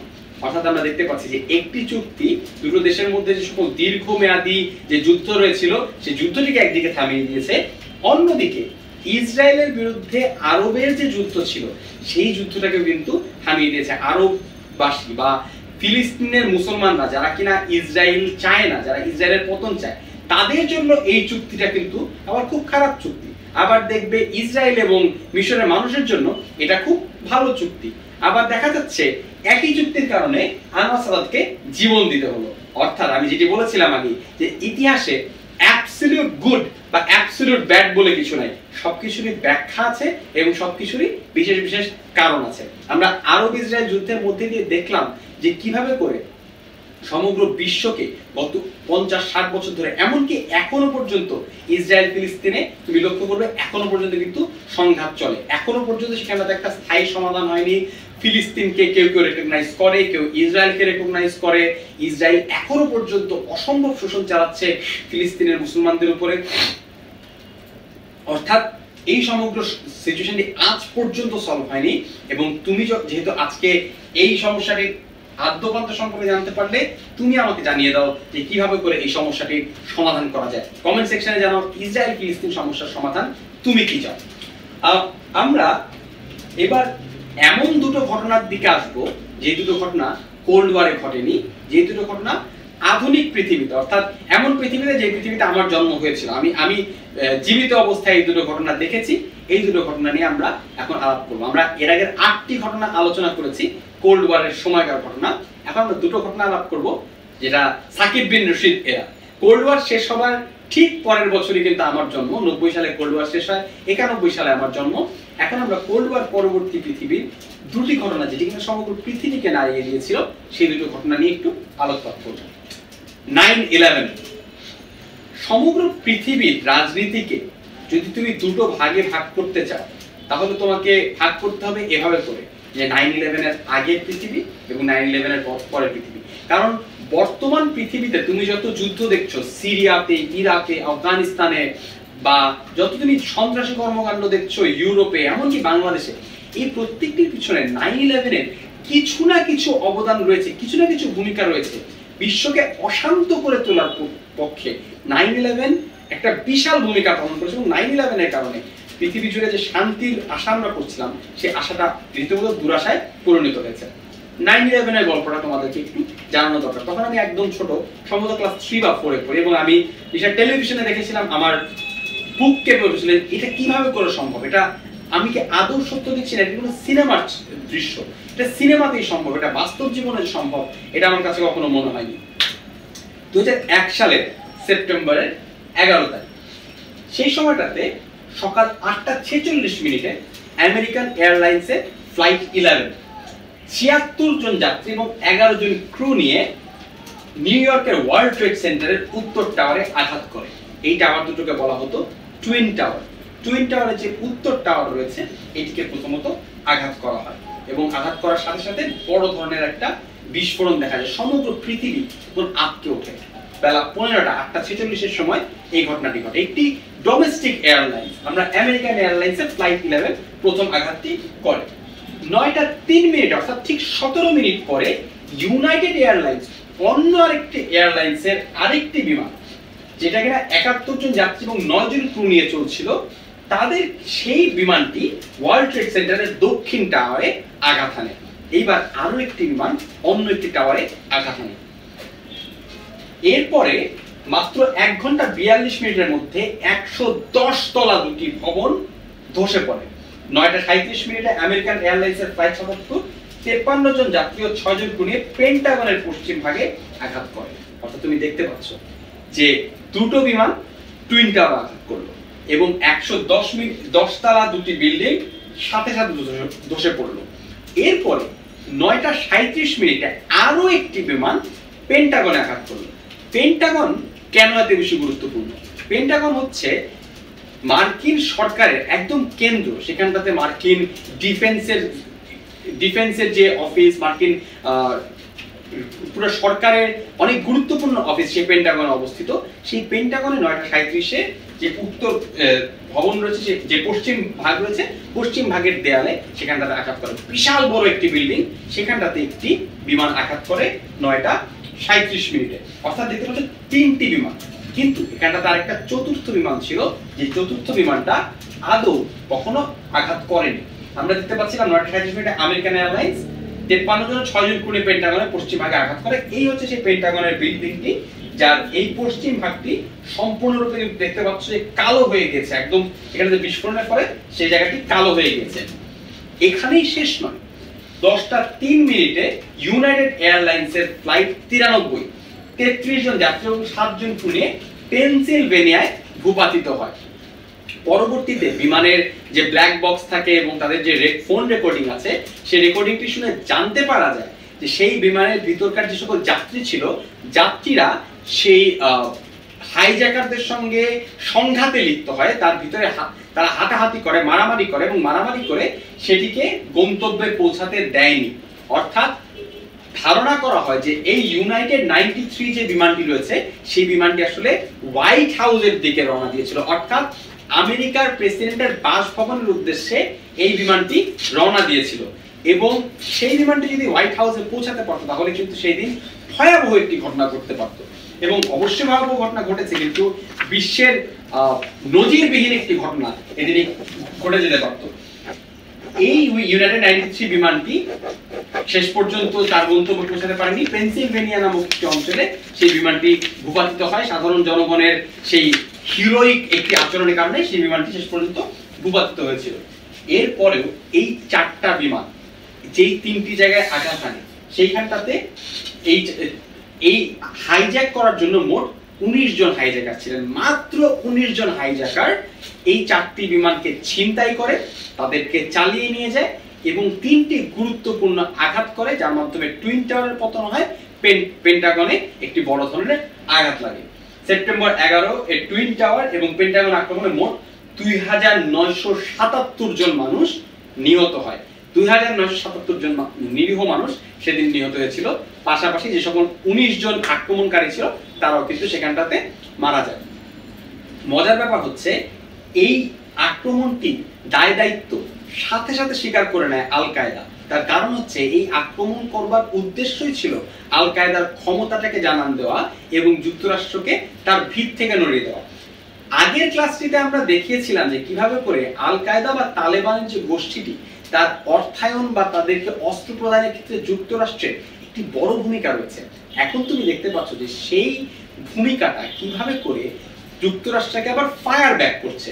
অর্থাৎ আন্তর্জাতিক রাজনীতিতে কখন কাকে সাপোর্ট করা উচিত, কখন কার থেকে সাপোর্ট তুলে নেওয়া উচিত, এটা বলা কিন্তু খুবই ডিফিকাল্ট অর্থাৎ দেখতে পাচ্ছ যে নাইন ইলেভেনে এরকম ভয়াবহ একটি ঘটনা ঘটে গিয়েছিল, কেবলমাত্র এই যুক্তরাষ্ট্রের কূটনৈতিক একটি ভুলের কারণে একটি রাজনৈতিক ভুলের কারণে যার নাম হচ্ছে তালেবান।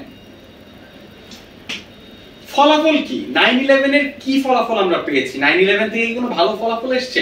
একদম না নাইন ইলেভেনের কোনো ফলাফলই ভালো আসেনি। প্রথম যে ফলাফলটা ছিল তা হচ্ছে সন্ত্রাস বিরোধী যুদ্ধের ঘোষণা war against terror war on terror শুরু করে দিলেন George W Bush. George W Bush সবার সামনে আসলেন এবং এসে বললেন যে, আমরা সন্ত্রাস বিরোধী যুদ্ধ শুরু করব। এবং সন্ত্রাস বিরোধী যুদ্ধ করতে গিয়ে তিনি নিউ ইয়র্কের বাসায় বাসায় যত মুসলিম, ইন্ডিয়ান, পাকিস্তানি, আরব বংশোদ্ভূত যত মানুষ ছিল, তাদের অনেককে হেনস্থা করতে শুরু করলেন, তাদেরকে অ্যারেস্ট করা হলো, তাদেরকে অত্যাচার করা হলো, তাদেরকে ডিটেইন করা হলো, তাদেরকে কোন রকম অ্যারেস্ট ওয়ারেন্ট ছাড়া দীর্ঘদিন তাদেরকে আটক রাখা হলো। এই ধরনের অত্যাচারের কারণে কিন্তু এই যে সহিংসতার পরিমাণ, তা কমে যায়নি, তা বরং আরও বেড়ে গিয়েছে। দেখা গিয়েছে যে নিউ ইয়র্ক থেকে যে সকল আরব বংশোদ্ভূত বা ভারতীয় বা পাকিস্তানি বংশোদ্ভূত যাদেরকে আটক করা হয়েছে, তারা পরবর্তীতে জেল থেকে বের হয়ে, যারা কিনা সন্ত্রাসী ছিলেন না তারাও পরবর্তীতে এই ধরনের সন্ত্রাসী কর্মকাণ্ডের সঙ্গে জড়িয়ে গেছেন, কারণ তাদের মধ্যে যুক্তরাষ্ট্র বিরোধী একটি মনোভাব সৃষ্টি হয়েছে। অর্থাৎ সমগ্র বিশ্বকে এই মার্কিন বিরোধী করে ফেলে এই ওয়ারন টেরর। এই ওয়ারন টেররের কারণে কিন্তু সমগ্র বিশ্বে যে টেরোরিজম আছে টেরোরিজমের পরিমাণটা বেড়ে যায়। সবাই তখন মার্কিন বিরোধী বা পশ্চিম বিরোধী একটা মনোভাব পোষণ করতে থাকে। টেররিস্ট গ্রুপগুলো এই ন্যারেটিভটাকে এই ধারণাটাকে প্রচণ্ড পরিমাণে প্রমোট করতে থাকে যে এই গোষ্ঠীটা, এই মার্কিন শক্তি তোমার পতন চায়, তোমাকে ধ্বংস করতে চায়, তোমাকে অত্যাচার করেছে। চলো এবার আমার সঙ্গে তুমি এদের বিরুদ্ধে যুদ্ধ করব আমরা। এদের বিরুদ্ধে সন্ত্রাসী কর্মকাণ্ড করব এবং তার কারণে কিন্তু এই সন্ত্রাসী কর্মকাণ্ড এই পরিমাণে বেড়ে গেল। দ্বিতীয় যে ঘটনাকে আমরা দেখতে পেলাম তা হচ্ছে পেট্রিয়েট অ্যাক্ট পেট্রিয়েট অ্যাক্ট খুব অদ্ভুত একটি আইন যে আইনের আন্ডারে যুক্তরাষ্ট্র সরকার তার দেশের নাগরিকদের ফোন কলে আড়ি পাততে পারবেন, তাদের ইমেইল চেক করতে পারবেন, তাদেরকে বিনা বিনা ওয়ারেন্টে তাদের ঘর সার্চ করতে পারবেন এবং তাদেরকে বিনা ওয়ারেন্টে অ্যারেস্ট করতে পারবেন এবং তাদেরকে আটক রাখতে পারবেন। অর্থাৎ সিভিল রাইটস নাগরিক অধিকার সংক্রান্ত যতগুলো ধারণা ছিল, সবগুলোকে ছুঁড়ে ফেলে দিয়ে দেশকে রক্ষা করবার নামে এত বড় একটি অন্যায় চাপিয়ে দেওয়া হলো আমেরিকান নাগরিকদের মধ্যে, যেটা কিনা আমেরিকায় অনেক বিরূপ প্রতিক্রিয়া সৃষ্টি করল। সাধারণ মানুষ বন্দি ফিল করতে শুরু করল এবং তাদের মধ্যে সরকার বিরোধী যেই চেতনা, সেটি অনেক বেশি জাগ্রত হয়ে গেল। আরেকটি জিনিস শুরু হয়েছিল, সেটা হচ্ছে ডিপার্টমেন্ট অফ হোমল্যান্ড সিকিউরিটি আমরা এফবিআই এর থেকে পরবর্তীতে আরেকটি ডিপার্টমেন্ট দেখতে পেয়েছি, তা হচ্ছে ডিপার্টমেন্ট অফ হোমল্যান্ড সিকিউরিটি এই ডিপার্টমেন্ট অফ হোমল্যান্ড সিকিউরিটি যে কাজটি করতো, তা হচ্ছে সন্ত্রাসী কর্মকাণ্ড সংক্রান্ত যে কোনো গোয়েন্দাগিরি বা যে কোনো ধরনের প্রস্তুতি যদি গ্রহণ করার প্রয়োজন হয়, মূলত সন্ত্রাস নির্মূলের জন্য এই ডিপার্টমেন্ট অফ হোমল্যান্ড সিকিউরিটিকে তৈরি করা হয়, যারা অ্যাপারেন্টলি যুক্তরাষ্ট্রকে বহির্বিশ্ব বা দেশের ভিতরের যে সকল সন্ত্রাসী কর্মকাণ্ড রয়েছে সেখান থেকে তাদেরকে রক্ষা করবে। একটা ছোট জিনিস তোমাকে জানিয়ে রাখি নাইন ইলেভেনের আগে এত বড় আঘাত মানে কখনোই যুক্তরাষ্ট্রের যুক্তরাষ্ট্রের বিরুদ্ধে হয়নি। লাস্ট সেই দ্বিতীয় বিশ্বযুদ্ধের সময় যখন জাপান যুক্তরাষ্ট্রকে আক্রমণ করেছিল, সেটা ছিল শেষ সেই সময় যখন একটি বহির্বিশ্বের দেশ, বহির্বিশ্বের একটি বিমান যুক্তরাষ্ট্রের অভ্যন্তরে ঢুকে যুক্তরাষ্ট্রকে আক্রমণ করেছিল।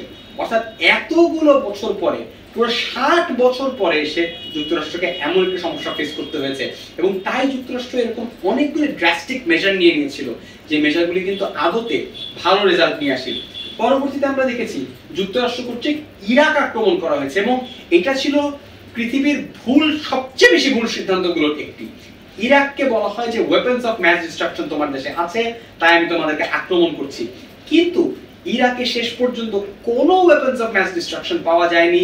শেষ পর্যন্ত আমরা দেখেছি যে ইরাককে সমগ্র ইরাককে ধ্বংস করে ফেলা হয়েছে এবং কোনো ওয়েপন্স অফ ম্যাচ ডিস্ট্রাকশন পাওয়া যায়নি।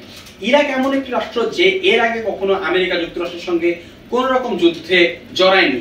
এমনকি এমনও কোনো নিদর্শন পাওয়া যায়নি যে তালেবানরা বা আল কায়দা ইরাককে কেন্দ্র করে এই হামলাটা তৈরি করছিল। এমনকি দেখা গিয়েছে যে আফগানিস্তান বা পাকিস্তানে এই জায়গাটাতে ভূমিকাটা আরও বেশি ছিল। অর্থাৎ তালেবানরা বেশিরভাগ অবস্থান করছিল পাকিস্তান বা আফগানিস্তানে। সেই জায়গায় আক্রমণ করা হয়েছিল ইরাককে। এই ইরাক আক্রমণ যে ঘটনাটি ঘটিয়েছে তা হচ্ছে ইরাকের সাধারণ জনগণের মনে এই যুক্তরাষ্ট্র বিরোধী বা পশ্চিম বিরোধী যে সেন্টিমেন্ট আছে, এটিকে অনেক বেশি তীব্র করে তুলেছে। পাশাপাশি টেররিস্ট অর্গানাইজেশন যারা রয়েছে, সেই টেররিস্ট অর্গানাইজেশনগুলো আরও বেশি বল পেয়েছে, আরও বেশি ক্ষমতা পেয়েছে। তারা তখন এমন একটি মতবাদ প্রচার করতে শুরু করেছে দেখো, এই যে যুক্তরাষ্ট্র, এই যুক্তরাষ্ট্র তোমাদেরকে ধ্বংস করে দিচ্ছে, আমাদের এখানটাতে যুদ্ধ হয়েছে, এখন আমাদেরকে প্রতিশোধ নিতে হবে। এই প্রতিশোধের কথা বলে এই টেররিস্ট অর্গানাইজেশনগুলো আল কায়দা তালেবান পরবর্তীতে ইসলামিক স্টেটস এর মতো দলগুলো কিন্তু এখান থেকে উঠে আসতে শুরু করেছে। এই সব কিছু সূচনা হয়েছিল সেই ইরাক ওয়ার থেকে, ইরাক যুদ্ধ থেকে। অসংখ্য মানুষ তো মারা গিয়েছেই ইনফ্রাস্ট্রাকচার তো ধ্বংস হয়ে গেছে দেশের গণতন্ত্রকে স্থাপন করা যায়নি আজ অবধি। এবং শেষ পর্যন্ত সেখানটাতে প্রচণ্ড পরিমাণে সন্ত্রাসবাদের উত্থান ঘটেছে। এবং শেষ পর্যন্ত সমগ্র বিশ্বে, আরব বিশ্বে চরম অস্থিরতা শুরু হয়ে গিয়েছিল এই ইরাক যুদ্ধের মাধ্যমে। এই ইরাক যুদ্ধ এবং নাইন ইলেভেন থেকে আমাদের জিনিসটা জানতে হবে, তা হচ্ছে আমাদের সামনে যত বড় সমস্যা আসুক না কেন, আমাদের এমন ভাবে রিটালিয়েট করা উচিত না, যাতে করে সমস্যা আরও বেশি বড় হয়ে যায়। আমি বুঝতে পারছি যে নাইন ইলেভেন যুক্তরাষ্ট্রের জন্য অনেক বড় একটি ঘটনা ছিল, কিন্তু তার তার বদলে ইরাককে আক্রমণ করা কিন্তু একটি বড় ধরনের ভুল সিদ্ধান্ত ছিল এবং যেই সিদ্ধান্তটির মাসুল আজ অবধি ইরাককে দিতে ইরাককে দিতে হচ্ছে? সমগ্র আরব বিশ্বকে দিতে হচ্ছে? আজকের লাইভ ক্লাসে শেষ ঘটনাটিতে আমরা যাব। ঘটনাটি খুব বেশি পুরাতন নয়, আজকে দু সাল, মাত্র দু সাল, সাত বছর আগে আমাদের অনেকের মেমোরিতে জিনিসটা এখনও তাজা। ঘটনাটির নাম অ্যারব স্প্রিং বা আরব বসন্ত। একটা চেইন রিয়াকশন দেখা গেল দু হাজার এগারো সালে। দেখা গেল, একসঙ্গে আরবের অনেকগুলো রাষ্ট্রে স্বৈরাচারদের পতন হচ্ছে রাষ্ট্র ব্যবস্থায় পরিবর্তন আসছে। সাধারণ নাগরিক রাস্তায় বেরিয়ে এসে আন্দোলন করছে এবং একই সঙ্গে অনেক জায়গায় গেরিলা আক্রমণও শুরু হয়ে গেল। কিছু কিছু জায়গায় সন্ত্রাসবাদী আক্রমণ শুরু হয়ে গেল। এই সমগ্র কিছু ঘটনাকে একত্রে বলা হয় আরব বসন্ত। অর্থাৎ আরবে বসন্ত এসেছিল, বিপ্লবের বসন্ত এসেছিল। এই আরব বসন্ত কিন্তু একই সঙ্গে অনেকগুলি আরব দেশে বিপ্লব নিয়ে এসেছিল এবং রাজনৈতিক পথ পরিবর্তন করে দিয়েছিল। তিউনিশিয়া মিশর, লিবিয়া, ইয়েমেন সিরিয়া এবং বাহারানি প্রত্যেকটি দেশেই কিন্তু আরব বসন্তের প্রভাব আমরা লক্ষ্য করতে পেরেছি। আরব বসন্ত শুধুমাত্র দেশের রাজনৈতিক প্রেক্ষাপটে পরিবর্তন আনেনি সেখানকার সাংস্কৃতিক প্রেক্ষাপটে বড় ধরনের পরিবর্তন এনেছে এমন অনেক নাগরিক যারা কিনা দেশের একনায়কতন্ত্র নিয়ে একদম হ্যাপি ছিল, তারা রিলাক্টেন্ট ছিল নিয়ে কোনো কথাই বলতো না। সেই সকল মানুষ কিন্তু রাস্তায় নেমে এসছে, তারা হঠাৎ করে সোচ্চার হয়ে উঠেছে, তারা তাদের দেশে যে শোষণ ছিল, সেই শোষণের বিরুদ্ধে কিন্তু রুখে দাঁড়িয়েছে। এই আরব বসন্ত কোথা থেকে শুরু হলো, কীভাবে করে শুরু হলো, সেই ইতিহাসটা আমাদের একটুখানি জেনে নেওয়া উচিত। এই আন্দোলনটা শুরু হয়েছিল এই মোহাম্মদ বুয়াজিজির হাত ধরে। মোহাম্মদ বুয়াজিজি একজন সবজি বিক্রেতা টিউনিশিয়া একজন সবজি বিক্রেতা, যাকে কিনা তার যে ঠেলা গাড়িতে করে তিনি সবজি বিক্রি করতেন, সেই ঠেলা গাড়িটি তার থেকে সিজ করা হয়। পুলিশ তার কাছ থেকে ঠেলা গাড়িটি নিয়ে যায়, এই দাবিতে যে সেই ঠেলা গাড়িটাকে না বেআইনি। পরবর্তীতে তিনি যখন সচিবালয়ে গিয়ে সরকারি অফিসে গিয়ে সেখানে যোগাযোগ করেন, তিনি বলেন যে তিনি ফেরত চান, তাকে তো ফেরত দেওয়া হয় না। পরবর্তী তাকে অনেক প্রচুর পরিমাণে হ্যারাসমেন্ট করা হয়। একজন সবজি বিক্রেতার জন্য তার ঠেলাগাড়িটা কিন্তু খুবই গুরুত্বপূর্ণ। এই ক্রমাগত শোষণে, অত্যাচারে, অপমানে অতিষ্ঠ হয়ে বুয়াজিজি আত্মহত্যা করবার সিদ্ধান্ত নেন এবং তিনি চিন্তা করেন যে আত্মহত্যাটা আমি এমন ভাবে করব যাতে এই টিউনিশিয়ার সরকার আমার এই ঘটনার দ্বারা যাতে নড়ে যায়, আমার আত্মহত্যা দিয়ে আমি টিউনিশিয়াকে নাড়িয়ে দিব টিউনিশিয়ার এই সরকারকে নাড়িয়ে দিব। তিনি এইটার প্রতিবাদে দুই সালের সতেরোই ডিসেম্বর একটি সরকারি অফিসের সামনে দাঁড়িয়ে নিজের গায়ে পেট্রোল ঢেলে আগুন ধরিয়ে দেন। পরবর্তীতে দুই হাজার এগারো সালের চার জানুয়ারি তার মৃত্যু ঘটে। এই বুয়াজির যে মৃত্যুটি রয়েছে, সেটি একটি আইকনিক আকার ধারণ করে। রাতারাতি এই মোহাম্মদ বুয়াজি একজন শহীদে পরিণত হন। সবাই তার যে তার যে ভূমিকা রয়েছে, তার যে তার যে শাহাদত রয়েছে, তার যে আত্মত্যাগ রয়েছে, তার স্তুতি গাইতে শুরু করে। সমগ্র তিউনিশিয়া জুড়ে সোশ্যাল মিডিয়াতে, অনলাইনে, অফলাইনে এই বুয়াজিজির যে ছবি রয়েছে, সেই ছবি এবং তার যে আগুনে পুড়ে যাওয়া যে দেহ, সেই দেহের ছবিটা রীতিমতো ভাইরাল হয়ে যায় এবং ভাইরাল হওয়ার সাথে সাথে সমগ্র দেশে সেই তৎকালীন যে শোষক রয়েছে, সেই স্বৈর শাসক বেন আলী, সেই বেন আলীর বিরুদ্ধে ব্যাপক পরিমাণে একটি ব্যাপক মত সৃষ্টি হয় সেই সেই শাসককে পতন ঘটানোর জন্য। এই স্বৈর শাসনের পতনের জন্য সাধারণ মানুষ, শুধুমাত্র সোশ্যাল মিডিয়াতে না, রাস্তায় নেমে আসে। বুয়াজির মৃত্যুর মাত্র সাত দিন পর, অর্থাৎ এগারোই জানুয়ারি টিউনিশিয়ার স্বৈর সরকারের পতন হয় এবং বেন আলী পালিয়ে যান।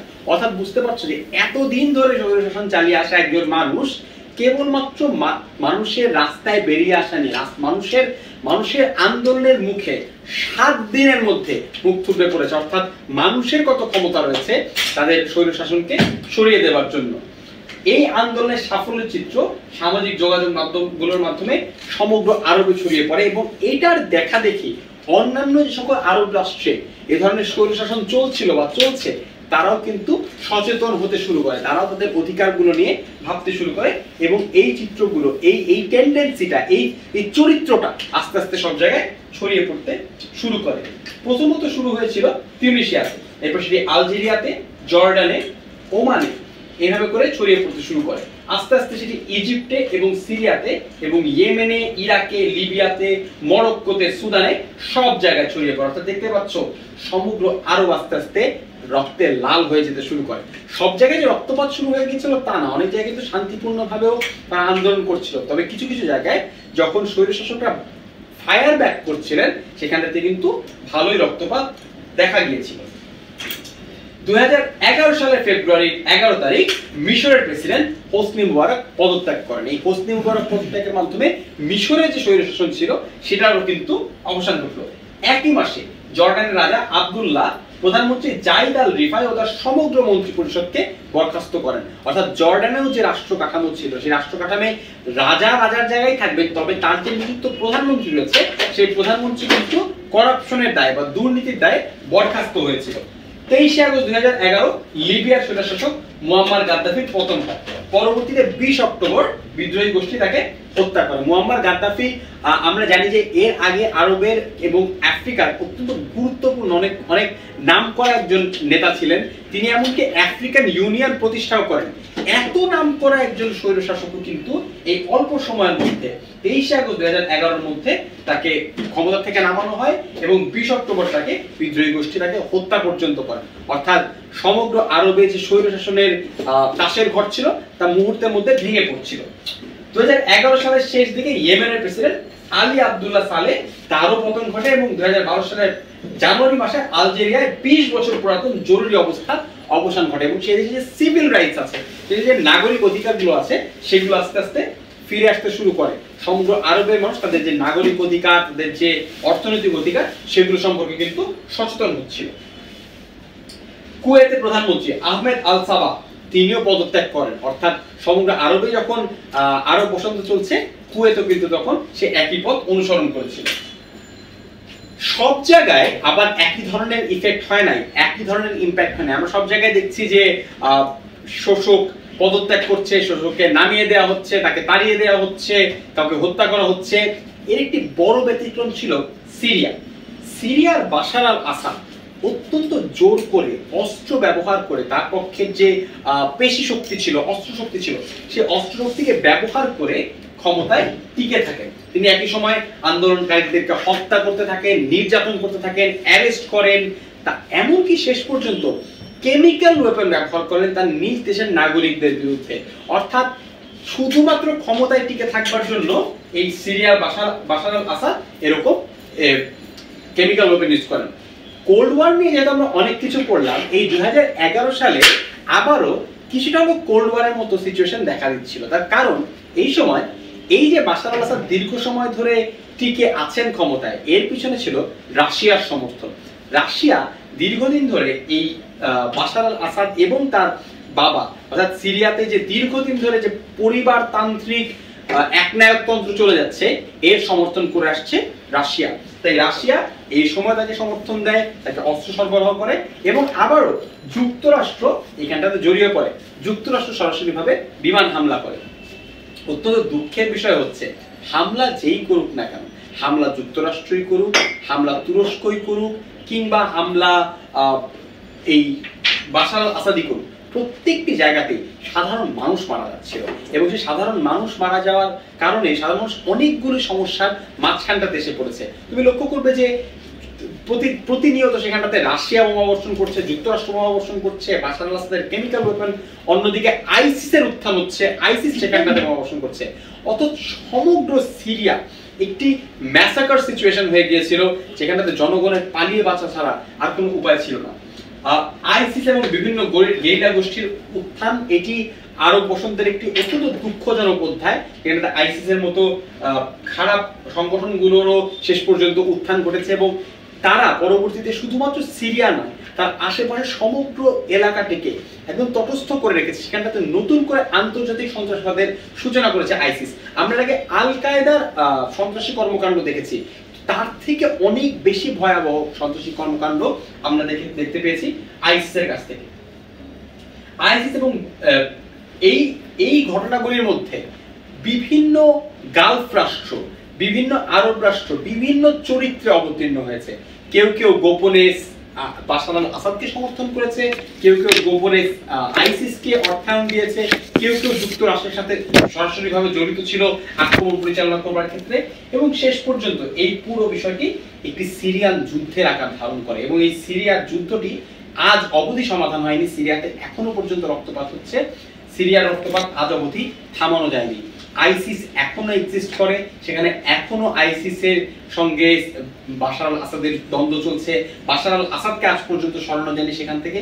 সিরিয়ার ভবিষ্যৎ কি হবে, সেটা নিয়ে আমরা এখনও সন্দিহান তোমরা যদি কেউ সিরিয়ার ভবিষ্যৎ কি হতে পারে বা কীভাবে করে আমরা সমস্যাটা সমাধান করতে পারি, এর একটা পদ্ধতি বের করতে পারো, তাহলে অবশ্যই আমাদেরকে জানাবে এই কমেন্ট সেকশনে আমরা গত দুটো লাইভ ক্লাসে দশটা এমন ঘটনা নিয়ে আলাপ করলাম, যেগুলো আমাদের বর্তমান পৃথিবীকে আকার দান করেছে, রূপ দান করেছে, আমার তোমার জীবনকে চমৎকার ভাবে ইম্প্যাক্ট করছে এই এই ঘটনাগুলো। এই ঘটনাগুলোর বেশিরভাগ ঘটনায় অনেক নেগেটিভ ইম্প্যাক্ট রাখে। কারণ ইতিহাসে খুব ভালো ঘটনাগুলো নিয়ে তো স্টোরি হয় না, সাধারণত যুদ্ধ নিয়ে স্টোরি হয়, মানুষের মারা যাওয়া নিয়ে স্টোরি হয়। তাই এই এই গল্পগুলো জানা যেমন অত্যন্ত কষ্টে, একসঙ্গে অত্যন্ত শিক্ষারও বটে। ইতিহাস থেকে আমাদেরকে শিখতে হবে। যারা সাধারণ জ্ঞান পড়ছো, তাদের জন্য অনুরোধ থাকবে যে আমি এতক্ষণ যে ক্লাসগুলো নিলাম, তার মধ্যে থেকে নাম, তার মধ্যে থেকে তারিখ, তার মধ্যে থেকে সময় এবং ঘটনাগুলো একটু একটু করে মনে রাখবার চেষ্টা করবে। গল্প করে পড়লে যেটা হবে তুমি এই মানুষগুলোর সাথে, এই চরিত্রগুলোর সাথে পরিচিত হয়ে যাবে এবং শেষ পর্যন্ত এই মানুষগুলোর নাম, তাদের তারিখগুলো তোমার মনে রাখতে সুবিধা হবে। তোমরা যারা যারা প্রস্তুতি নিচ্ছ, তাদের সবাইকে শুভকামনা জানাচ্ছি। পরবর্তী লাইভ ক্লাসে আবারও দেখা হবে। Thank you very much never stop learning